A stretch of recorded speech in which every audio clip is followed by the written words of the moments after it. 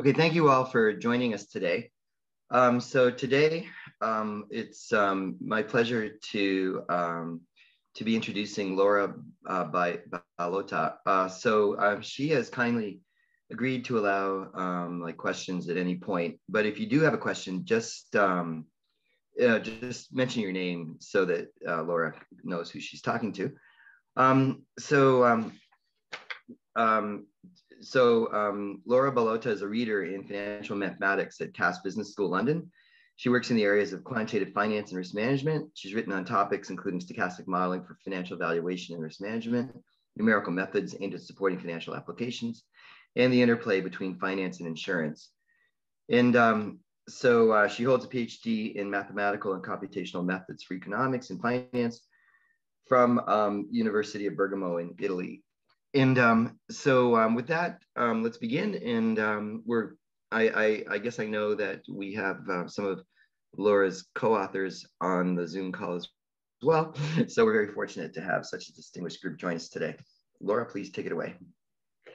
Thank you very much indeed for the nice introduction and for the invitation to speak uh, at this uh, um, seminar series. So the um, uh, topic of the talk today is about Fourier-based method for the management of complex uh, insurance contracts. And this is actually a joint work with Ernst Eberlein, Thorsten Schmidt, and Raghid Zeineddine from the University of Freiburg and uh, the Freiburg Institute for Advanced Studies. Um, okay, so the main focus today is going to be on uh, um, essentially variable annuities. So these are um, structured insurance policies that provide uh, a um, stable stream of post-retirement income, um, which is generated through the returns of uh, a portfolio, usually an equity index um, as well. Um, these contracts have um, witnessed a lot of popularity over the last uh, 10, 15 years, uh, also due to the fact that they carry a certain number of guarantees, which uh, essentially aim at reducing the risk exposure of the policyholder.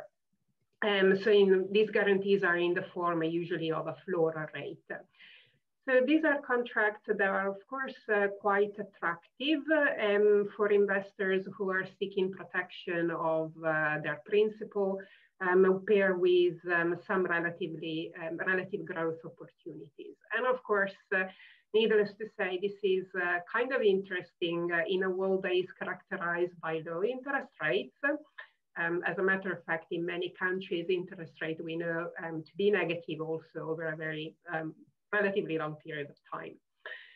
Um, let's not forget also that the markets uh, have um, uh, quite uh, high volatility at the moment. Uh, we are we have a pandemic in the background, so to have some sort of a guarantees is of course uh, very attractive.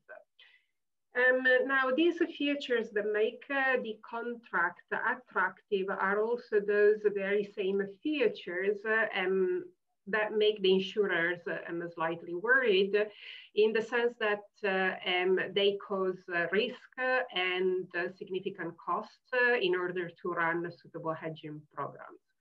So of course, the uh, variable annuity writers have to focus on uh, um, product design with the aim of balancing um, the two sides of the story. So the customer demands but also the risk uh, and the costs uh, um, involved uh, with these policies. There are many um, design of the contracts, many benefits that they carry. If you're interested in an extensive classification, this is um, a good paper um, to start from, the one by Bacinello and co-authors. Um, but the backbones of uh, the variable annuities is essentially these three benefits, the guaranteed minimum accumulation benefit, the surrender benefit, and the death benefit. Um, just quickly, and then we will see more of the details later on. The guaranteed minimum accumulation benefit is really the one that pays the return on uh, some equity index uh, um, fund. Um, to the policyholder. Um, it carries a number of guarantees, as I was saying, specifically a floor for uh, protection of uh, the policyholder, but also an, a cap for uh, um, reduction of the exposure of the insurer. You, we also might have a ratcheting mechanism, which means that the return is um, essentially credited annually and then is locked in and compounded all the way to maturity. Um, all in all, what we have here is essentially a um, sequence of uh, options um, um uh, which are going to be um, activated uh, according to certain triggering um, events. The main uh, source of risk is, of course, uh, the financial index to which the policy is attached. Um, the variable annuity also typically carries uh, some provision that allow the policyholder to leave the scheme prior to the contractual um, expiration. And uh, in this case, the policyholder receive uh, the value of the fund net of any surrender penalty charges. These are charges that are usually quite biting at the beginning, but the longer you stay in the policy, the less uh, um, charges that you're gonna have to pay. Now here, the main source of risk for the insurer is the lapse behavior of the policyholder. And this is quite uh, um, a complex entity to model because uh, we do not have sufficient knowledge about the true reason behind uh, the decision of the policyholder to leave uh, the scheme. There might be financial um, reasons, but there might be also personal contingencies. And the list is very long. There are some attempt at classifications, uh, but it's um, a very complex problem. On top of these uh, two benefits, the variable annuity also contemplate for the uh, well, unlucky situation in which the policyholders um, passes away before the expiration of the contract. In this case, there will be a death benefit uh, that is going to be paid to the heirs, of course, of the policyholder. And in this case, uh, the, the source of risk is essentially the mortality risk uh, paired with longevity risk. Okay, so um, the way we contribute to the discussion of the variable annuities is by proposing um, essentially a hybrid model for uh, this risk. So the financial risk, uh, the surrender risk, uh, and to a certain extent also the mortality risk. Um, a model which um, allows for this risk to be dependent uh, one of the other. And we accompany the model with an efficient numerical algorithm, as the title suggests, that this is going to be linked to Fourier transforms, and for the computation, of course, of the value of the policy, um, of the components and the full policy. So um, here is the agenda for um, this presentation, how I'm going to take you through um, the details of the paper. So I'm going to review a little bit more in detail the actual design of the payoffs um, for the three components of the variable annuity that we have looked at.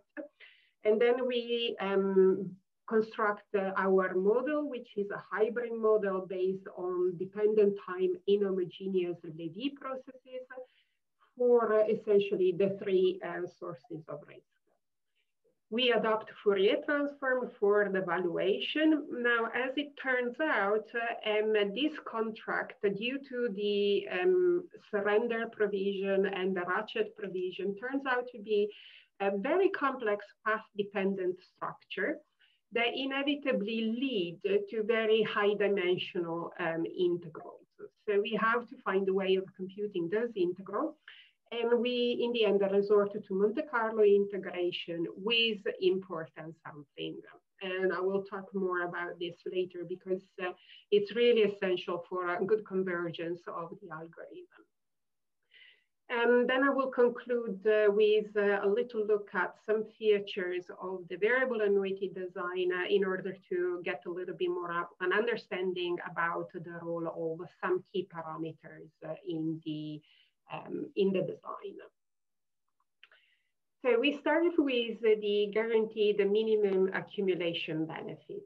So we assume a ratchet mechanism. As I said, here there is going to be a return that is uh, attributed to the policyholder and is going to be credited at the end of each reset date, which we are considering to be um, spread over the lifetime of the contract on an annual basis. So at the end of each year, the return is uh, credited to the policyholder account and then is going to stay there. Now, these returns uh, is computed uh, on the basis of the return on a financial index, which in our presentation is going to be a stock, uh, an equity index. Um, as I was saying, there are guarantees applied. So there is a floor in the sense that if the return goes below this threshold, this is as much as guaranteed by the company. But there is also a cap, and this is to protect, of course, the insurer from uh, um, having to pay too high return. Now, only a fraction of the return is going to be attributed anyhow, and this is in reason of this parameter C, which is the so-called participation rate. Now, of course, the payoff at maturity is going to be paid only if the, pay, the policyholder is still alive and he has not surrendered the contract prior to maturity. So we have to model these two events that for now are indicated as two random time, um, telling us whether or not the event has. Um, some relatively straightforward sort of reverse financial engineering allows us to look into the payoff a little bit more in detail and to split it into a risk-free component, which depends on the guaranteed rate plus a sequence of call options on the returns. Um, one series is struck at the floor rate and the other part is struck at the cap. So this is the guaranteed minimum accumulation benefit. And now the problem then will be the source of risk, uh, um, financial risk, and then the source of surrender risk and mortality risk. So essentially how we are going to model these two um, random uh, events. Um, then we have the surrender benefit. So this is uh, as much as the policyholder is entitled to receive in case he decides uh, to leave uh, the contract uh, prematurely. Um, so he is entitled to receive the value of the fund in reason of the nominal amount that has invested, which is denoted by I.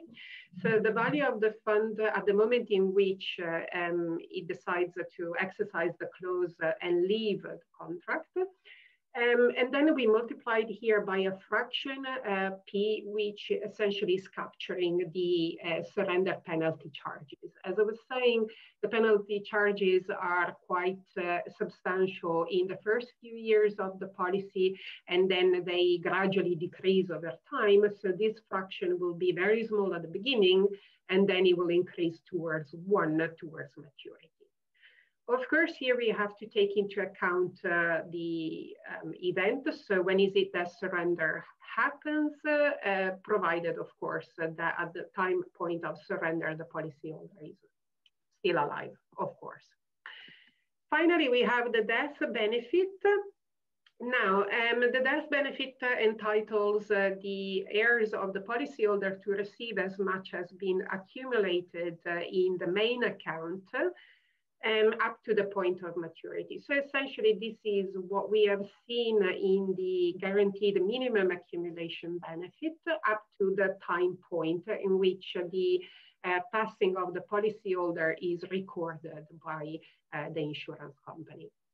Now, the way we are going to check uh, the um, two events of surrender and uh, death is via a sort of a monitoring um, schedule. So for surrender, Essentially, um, this uh, um, represents uh, the um, fairly realistic situation in which the, the insurer says to the policyholder, yes, you are allowed to surrender, but you can only surrender this many times uh, um, along the lifetime of the contract, say once a year, which is the time um, steps that we are considering.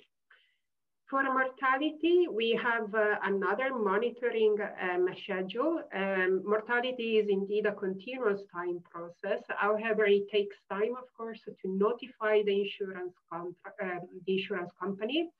It takes time for insurance company to receive the notification, to record it, to verify everything that needs to be verified, and then uh, to make the payment.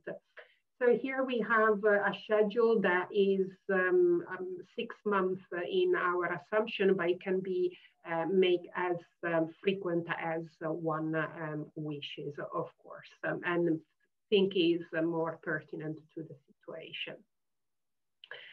So now the question is, now that we have the, the payoffs, uh, the question is to get the model for the financial risk, so for the um, stock on which we are uh, computing the returns.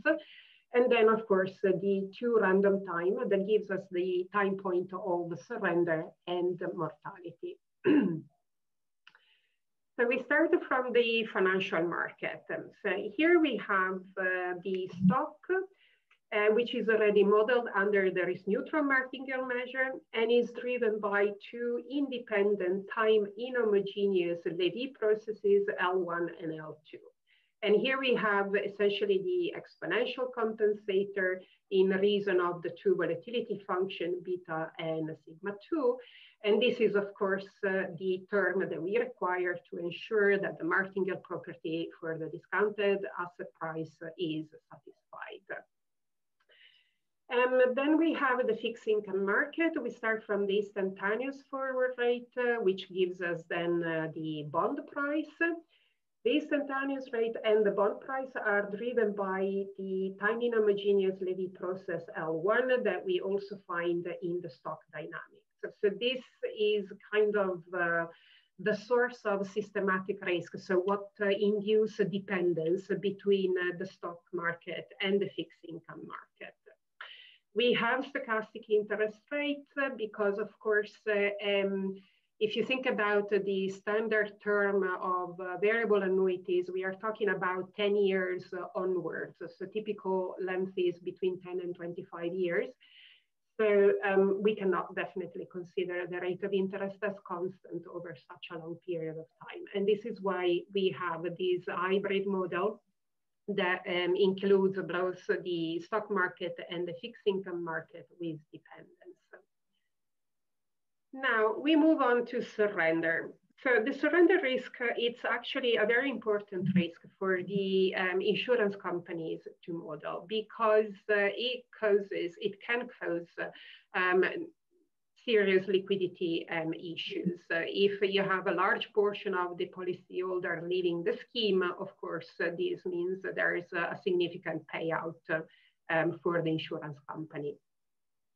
Now, um, there are different uh, uh, approaches to model surrender. One approach is to consider surrender as uh, the solution essentially to an optimal stopping problem, um, very much on the line of American option and Bermudan options. Another um, approach is uh, essentially based on the idea that surrender is um, an exogenous event that impacts the, the decision making of the policyholder.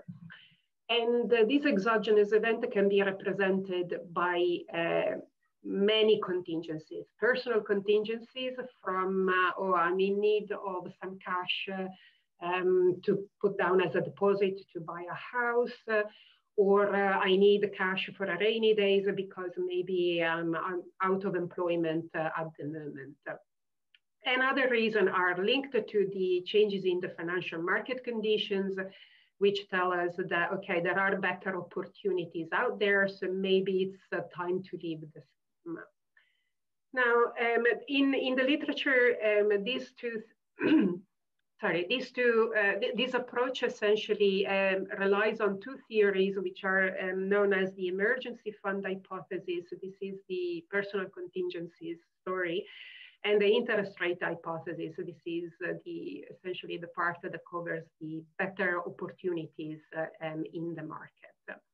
We decided to adopt uh, this approach. So we are considering surrender as an exogenous event our rationale behind the choice is that um, uh, first of all, the typical policyholder decides to sign up for one of these policies um, for saving purposes, not for, uh, um, let's say, aggressive uh, investment strategy. The second reason is that the typical policyholder might not have the skills or the means or both to pursue um, you know, a very systematic uh, investment uh, strategy that optimizes uh, its return, its utility, and so on and so forth. Um, so this is why we decided to go via the idea of an exogenous event, which is going to be modeled via a surrender intensity, which allows us to compute the probability at each point in time of uh, leaving the scheme or staying in the scheme. Now, this surrender intensity contains uh, um, two components. One component, C, is fixed uh, and is what we call the baseline of surrender behavior, um, which might go from uh, you know cash for rainy days to other um, very personal reasons um, to leave the scheme. Then there is a financial component that is essentially modeled via this process D, which is essentially a process which capture the spread between what the policy um, offers guaranteed which is this component, delta t, where delta is essentially the continuously compounded version of our floor rate compounded up to maturity. So on the one hand, we have what the policy offers, and on the other hand, we have what we would get in case we were to surrender. So we would get the fund minus the charges, and then we would have the possibility of investing this amount of money at least at um, the current rate of interest available in the market. Um, so we can go in the fixed income market and reinvest uh, our amount. Um, to this spread process, we apply essentially a function h, which uh, models, uh, so to speak, the reaction of uh, the policyholder to changes in the condition in the financial market. Um, so um, this function can be essentially any function. The derivation that we are going to offer is for any generic function h that satisfies some suitable integrability condition, we have to guarantee that the Fourier transform exists, is well defined, and so on. So it can be any function, but we advocate for a symmetric function based on the following argument. Um, for illustration, let's talk about uh, interest rates. The interest rate tomorrow could go up, and in this case, uh, maybe I have a better investment opportunity in the market. Or um, it could go down, and I could be motivated to leave the scheme anyhow because maybe I'm going to find uh, competitive refinancing opportunities out there. So, for example, I want to buy a house uh, uh, by opening a mortgage uh, and there'll be better rates out there. So this could be um, potential reasons for leaving the scheme. And that means that there is a, um, let's say like this, um, positive decision towards leaving the scheme regardless of the movement in the interest rate. And this is why we decided to go by a, symmetric function. So this is our surrender model. And then we have, uh, um, okay, uh, last thing that I forgot is that of course the spread function depends on the financial components. So that is a way of capturing the dependence between uh, the decision to lapse and uh, the um, movement in the financial market. The last component of our model is uh, mortality. Um, here we don't do that much, uh, uh, quite honestly. We just follow, in a way, um, a standard actuarial practice. So we model mortality by a survival probability that is controlled by a mortality intensity. The mortality intensity is initialized to the curve um, via um, standard Gompertz-Makeham model. And to this, we superimpose a stochastic component, which depends on another uh, time inhomogeneous Levy process, L3, which is uh, assumed uh, to be independent of uh, the two processes driving the financial market. So basically our assumption here is that there is independence between demographic risk and financial risk, which is a relatively common assumption in uh, um, the insurance world. Uh, and actuaries um, most of the time work under um, this uh, uh, specific assumption. Okay, so now we have the payoffs function. We have uh, the model, so we are ready to price um, the components of our contract using standard arbitrage principles. So we go via um, risk neutral valuation. So we take our expectation under the risk neutral martingale measure of the discounted payoff at maturity, and the policy value is going to be, of course, the sum of the three components we are going to use Fourier transform techniques to compute uh, these uh, expectations. What we have to keep in mind is that uh, these payoff functions are very complex and highly path dependent due to the um, surrender um, the, surrender clause that we have added to the contract. Uh, Laura, um, I, yes. Laura, um, this is Peter Carr. Um, I do have a question. Um, yeah. So about the um, the PGMAB, um, I see that um, like the way it's written, the first bullet point, um, it looks sort of. Uh, could you we stay on the same page we were just at? Yes. Uh, here we go. Oh.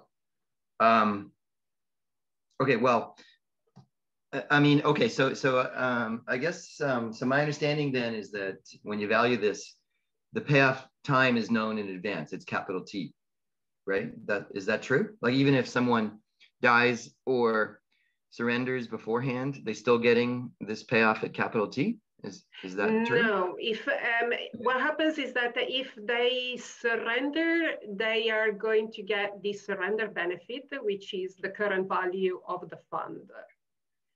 If instead the policy policyholder yeah. passes, yeah, if the policyholder yeah, then it's zero. So, okay, no, I understand now. So, so if someone dies before capital, this is zero, right? This payoff is zero. This this component goes to zero. Exactly. These are the these yeah. indicator function that are here. Yes, indeed.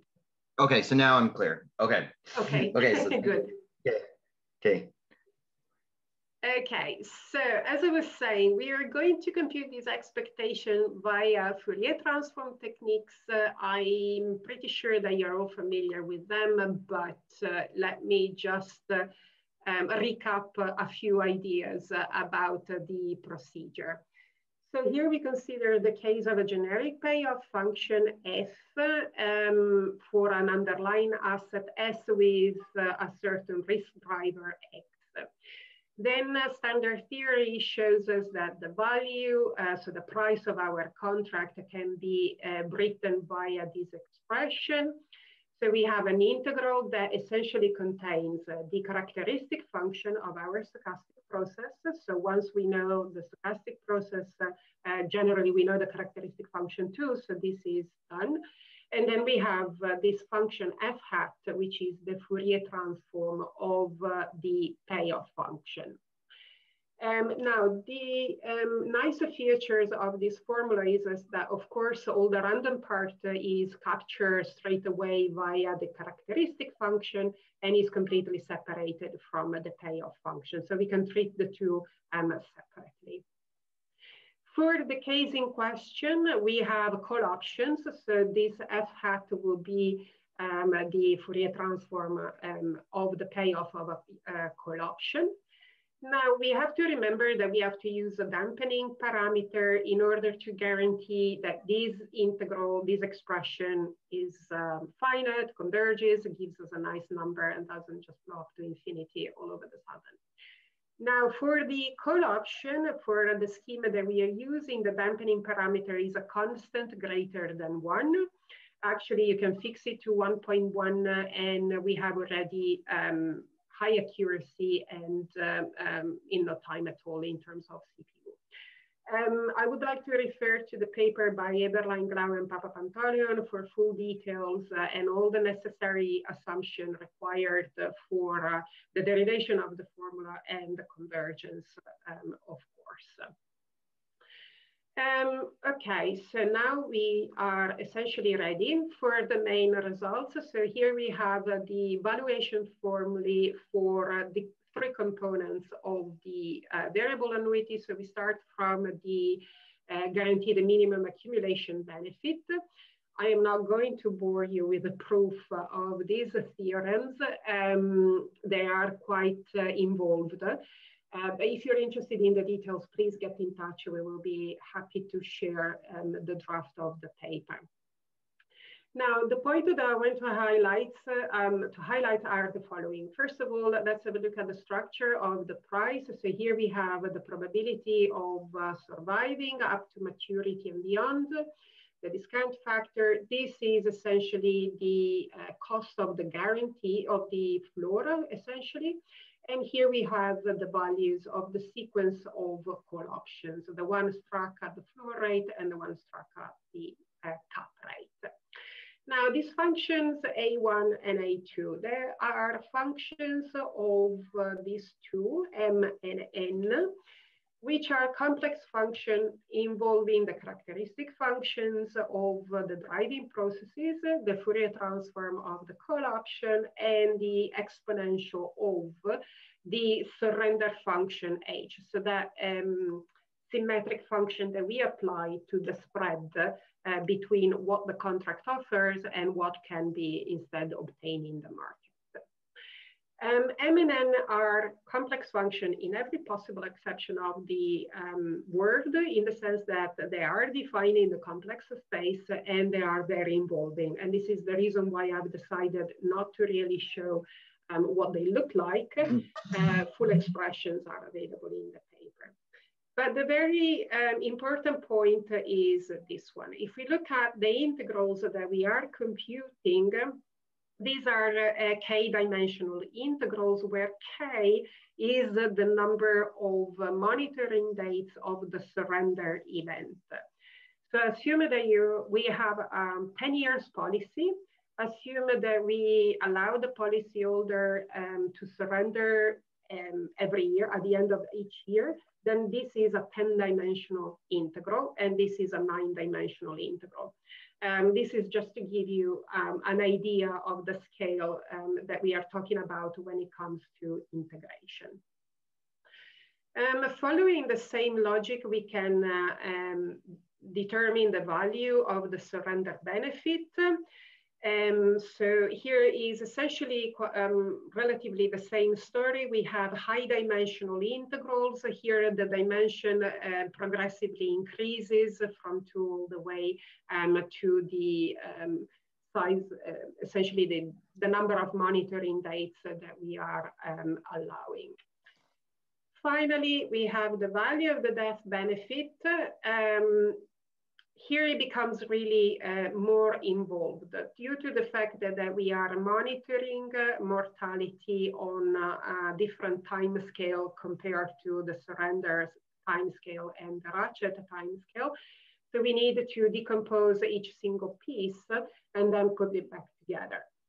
But the point is that again, we have these functions um, with high dimensional integrals that we have uh, to compute. So the problem of actually getting numbers out of uh, these formulae um, of course, we know that in order to compute, uh, um, numerically compute Fourier transform, there are many methods available from FFT to COS uh, to many other implementation. However, here we are really talking about very high dimensional integrals. And as far as I know, um, FFT technology, for example, um, as implemented in standard packages, reaches uh, two dimensions. So um, it's not adequate for the purpose. I have a Fourier transform are nothing but integrals. So why don't we look at the quadrature method?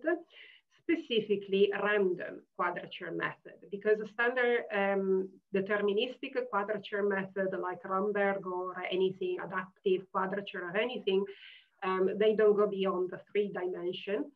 Uh, beyond the CPU time is absolutely prohibitive and already three dimension can be challenging if the integrand function is as sophisticated as uh, in our case.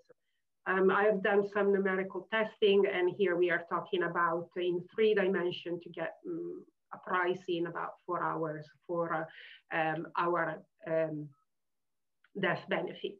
so that's not uh, very um, promising. So we decided to go via the random quadrature method, which means essentially Monte Carlo integration. So we take the integrand function, um, so those um, complex m and n function that I showed you before. And then what we have to do is to um, figure out a good distribution from which to extract our random numbers that we are going to plug in the integrand function. And then the value of our integral is simply a sample mean. I'm saying simply because uh, um, now all that matters is the size of the Monte Carlo sample. So how many iterations we are running. And the dimension is no longer of concern, not in the computation of the sample mean, not in the computation of the error. So the sample variance that then enters, of course, the standard error.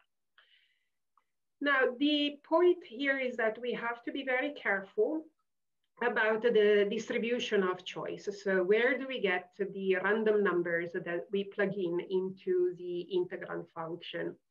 We have to remember that we are integrating complex function meant as defining the complex spaces, so they are highly oscillatory.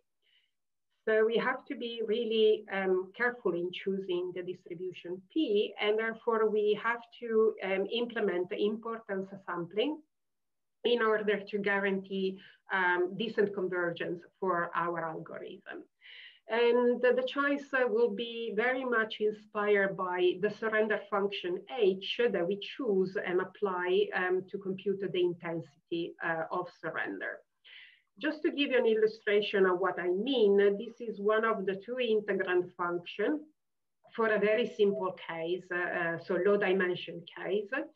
If I have a parabolic uh, um, function for the um, surrender intensity, I have this blue curve. Um, on the real uh, part, the imaginary part, well, this uh, usually is not much of a concern because uh, it should cancel out. Um, if I use a modulus function, here I have something that is much more um, peaked, uh, but there might be also negative oscillation here that due to the scale we don't see. They become more obvious if we look at the n function, that is the one that enters uh, essentially the calculation of the stream of uh, um, option uh, structures.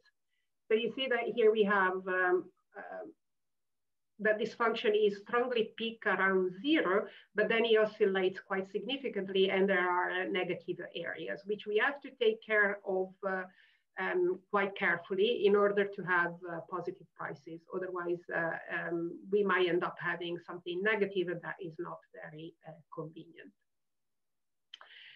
So um, let me go into the details of the numerical experiment and so that we can talk about how we choose these sampling um, distributions. So the um, financial market drivers are two um, normal inverse Gaussian processes.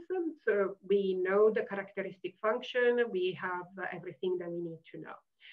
For the mortality, um, we are just taking a um, Brownian motion. This allows us to um, obtain uh, survival probabilities in closed form solution. So that helps with uh, the uh, computation. Here we have uh, the set of parameters for uh, the model. Now we are considering for um, illustration a um, 10 years policy we have uh, annual uh, ratchet mechanism, annual um, check-in of the surrender, whilst we, we are checking mortality every six months. So these are the uh, grids uh, um, steps. Now, for importance sampling, so as I said, we are going with a, um, on one hand, with a parabolic um, function for the definition of the surrender function.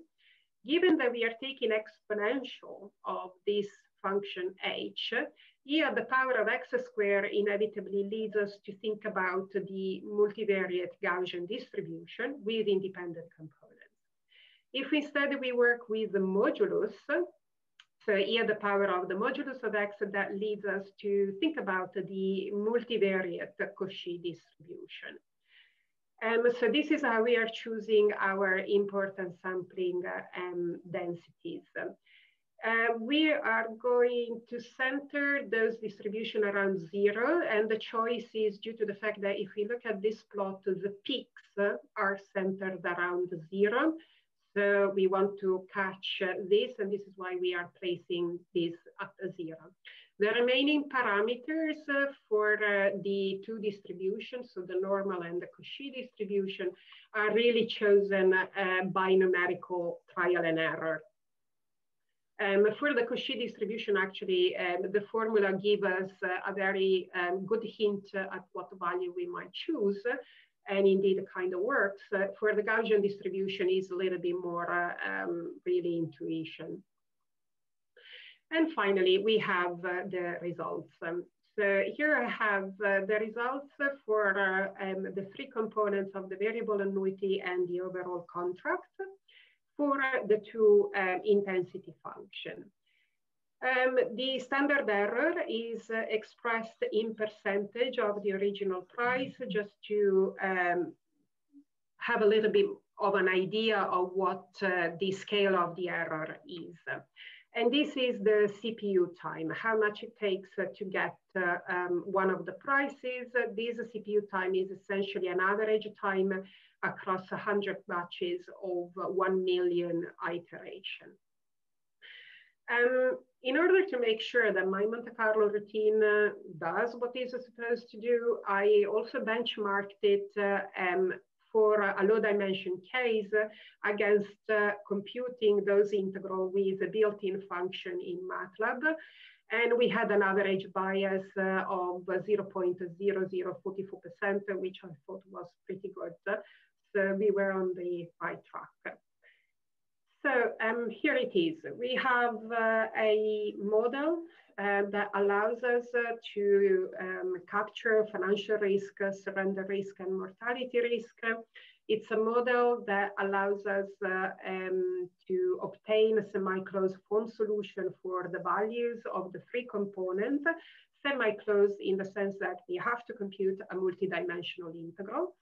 And we have a routine via Monte Carlo integration with importance sampling that uh, can help us um, compute uh, the prices.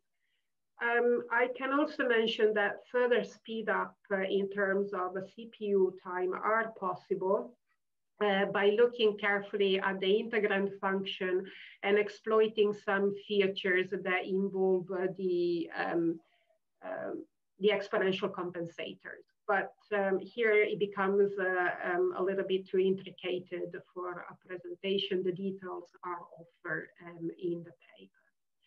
What I would like to conclude with uh, is a very brief uh, um, mini sensitivity analysis on uh, um, a couple of parameters that attracted our attention, which are the participation rate and the cap rate. Indeed, these are parameters that significantly affect the product marketability. So how attractive is the policy to um, potential um, customers, but it are also two parameters that affect the exposure of the insurer especially in presence of the ratchet mechanism. Because uh, if uh, um, during one year or uh, maybe two consecutive years we are experiencing very high return, then there is a significant amount that gets locked in and carried forward up to maturity, and the policy, the mm, sorry, the insurance company has to um, honor the agreement, so has to pay this amount at maturity, the moment in which the payment is So we have used our routine to get the numbers. So here I'm just illustrating the full value of the variable annuity um, for several uh, values of the participation rate in correspondence of three values of the cap rate. So a cap rate of 5%, 7.5%, and 20%, which is as good as saying there is no cap at mm -hmm. all. And um, we can notice here that, uh, of course, uh, um, the cap rate is really crucial in managing this trade-off between the demand of the customer and the um, exposure of the um, insurance company. And because uh, essentially if I fix uh, the cap rate at 5%, which is this blue line, I see that my uh, variable annuity value becomes almost indifferent um, to the participation rate. So this gives us a little bit of leeway um, to um, you know, accommodate for the demands uh, of the uh, customer. So this is essentially everything that I wanted to tell you today. Um, so I hope that I've been able to convince you that we have a general framework for the valuation and risk management of uh, complex life insurance products. Um, we envisage also the applicability of such technique uh, to other high dimension payoff structure. And uh, particularly the example that I had in mind was uh, the, the example of counterparty value risk, because uh, to a certain extent the structure is the same if we consider that we have to include uh, wrong way risk and right way risk. So the possibility of default of the counterparty and the possibility of default uh, of um, uh, the prime party. Um, results are uh, in this um, uh, paper. Um, at the moment uh, is just a preprint. Um, it's not available online yet. So if you're interested, please get in touch. And as I said, we will be happy to share the paper. Thank you very much for your. well, thank you, Laura. Uh, it was very, very interesting. Um, so um, just um, something I noticed right at the end, um, like at, at, the beginning of your talk, I, I, thought you mentioned that there would be a guarantee on the whole like payoff. So sort of globally as opposed to locally. And, um, but if we just, could you go back one slide? Because um, I think I can make my point just one back. Um, okay, so actually it wasn't here, sorry. Well, anyway, maybe one more. Um, yeah, this is what I wanted. Thank you. So, so this payoff for the GMAB, um, like it's it's what in practitioners call um, locally floored and locally capped. Um, and um, but let's say there's no global floor here. So a global floor would mean that you would put a um, you would be maxing with another constant at the on the outside okay, which would be called the global floor. Okay, yeah. Okay, and and so, but but I'm thinking that. So I'm so my question is, um, am I describing something that doesn't exist anymore? I know it used to, um, it, and um, but and if it does exist, um, could it easily be handled? Is the question. um, okay. Um, I have been looking at uh, a number of papers in the literature describing several design uh, of uh, this GMAB, and this seemed to be the kind of typical design um, that is adopted. Um, I have never seen a global uh, guarantee, to be honest, but I believe okay. uh, that um, at the end of the day, one should um, have a look out at the composition into uh, let's say the guaranteed component plus the sequence of option would work.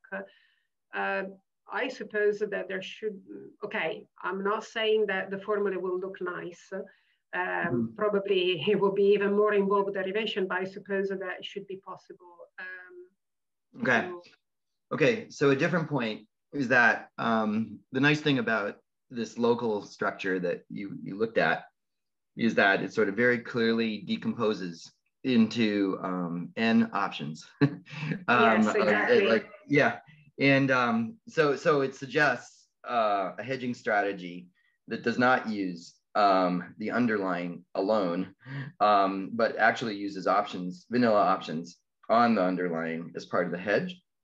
Yeah. Um, and is that something you've looked into?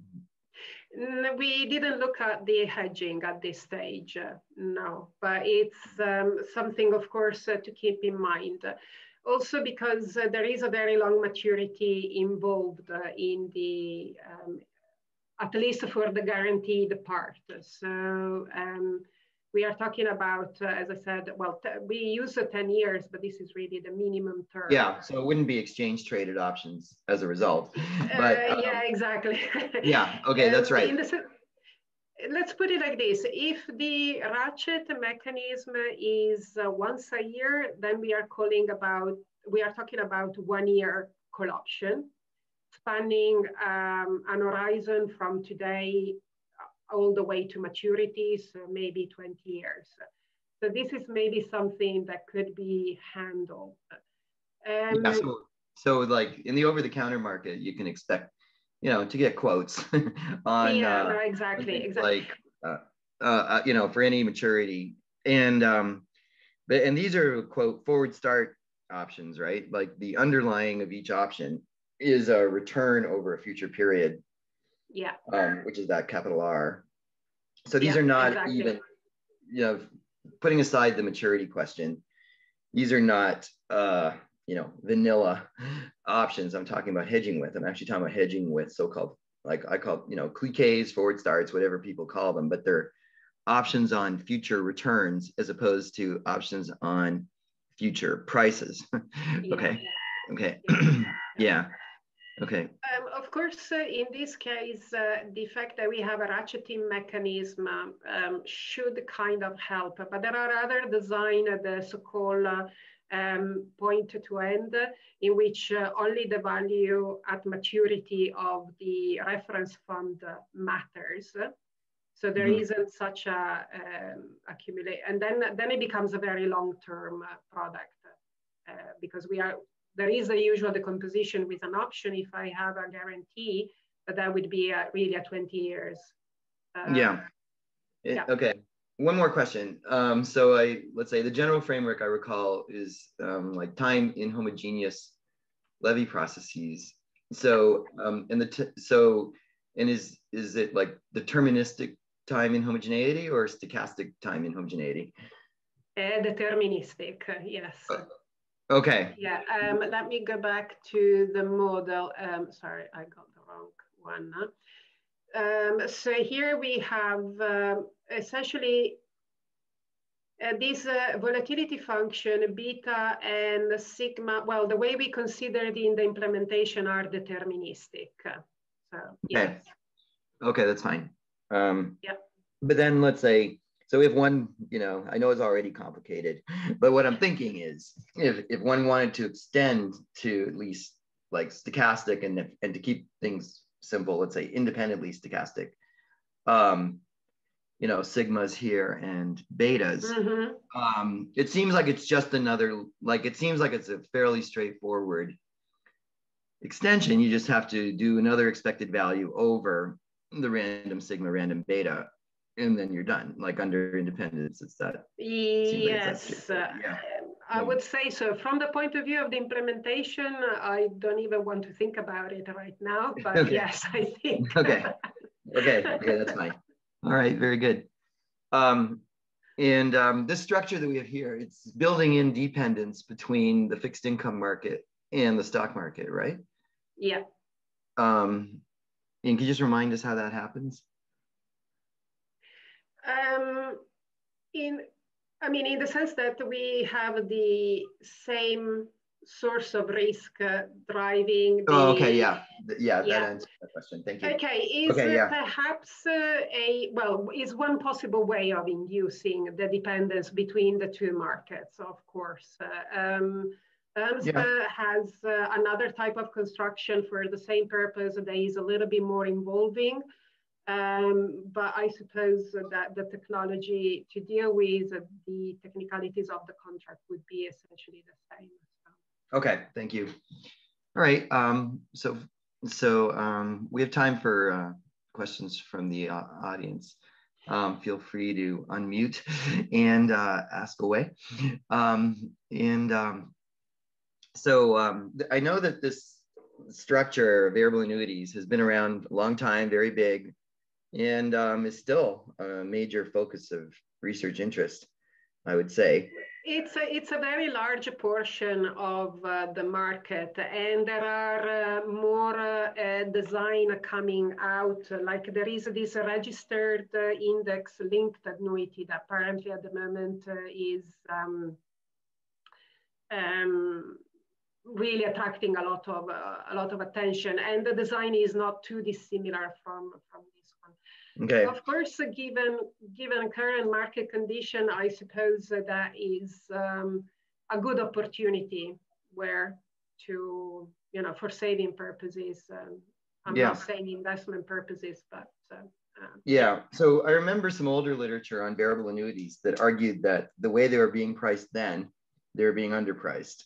Um, and um, you know, I'm thinking that you have a you know a sophisticated model here. You're you know the numbers you gave us are you know probably not underpricing uh the uh, uh yeah okay I think it very much depends on the surrender. Um, we don't have uh, sufficient data to calibrate uh, the surrender model. Also, these are usually proprietary data of the insurance companies. And um, but um, Concerning all the papers, yes, I started working on uh, this type of product uh, about 21 years ago when mm-hmm. there was the issue of the guaranteed annuity option that was uh, issued during the 70s and then essentially brought uh, Equitable Life uh, down to bankruptcy. And that was uh, um, the oldest insurance company in the world.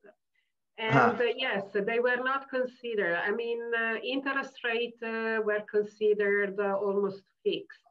Um, there was not much of a consideration about the fact that uh, when this contract had been issued, there was a serious problem of high inflation. So the guarantees were skewed, so to speak, uh, towards very high values that were not very realistic. And mm-hmm. then uh, the standard actuarial technique was to, you know, reserve uh, uh, somehow for uh, these additional benefits based on the current value. And the current value was practically zero. And um, so a lot has happened since then. And I think uh, uh, the problem with equitable life is what pushed um, the insurance industry to look into this contract more carefully and have them priced more consistently with uh, um, what the rest of the financial market is doing essentially. Okay. So there were a lot of issues related to this. Yes. Can, can I just ask a question about the surrender, your assumption on the surrender yeah. benefit? So I, it went by pretty quickly, but I think you said you assumed that uh, it was essentially random, that there was no uh, systematic variable in uh, people's exercise of the surrender benefit. And I wonder what happens if you assume that essentially the policyholders are conspiring against the insurance company to uh, oh, to, okay. to all you know.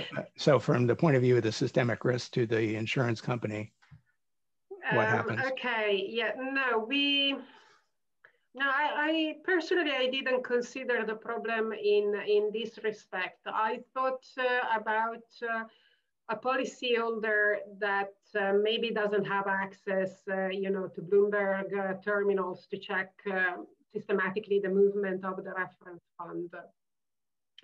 Now, the other thing that should be said is that here we assume as um, as a fund essentially um, a stock uh, market. But um, these funds are uh, not just uh, formed by equity. Um, they are funds that are very well diversified, that they contain equity, bond, uh, uh, real estate, uh, and so on.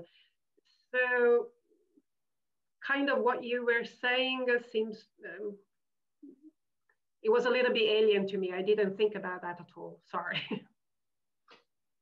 Yeah, I mean, um, so the I, I think is the question about the the assumption um, that was done that um, surrender is exogenous, and um, you know, and the, maybe the question is when to think about potentially like strategic surrender yes. instead of exogenous. That's what it was about, right? So yeah, yeah, exactly. I, yeah, I um, yeah, very much what happened uh, recently, you know, with those people on the Reddit platform, essentially. But no, I I didn't think about that possibility. So, um, so I, I think. I,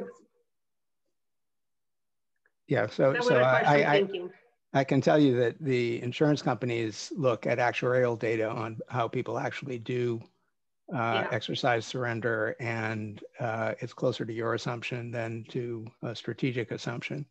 But uh, there, there's some concern over whether everybody gets strategic, and uh, then you know the value could go up quite a bit.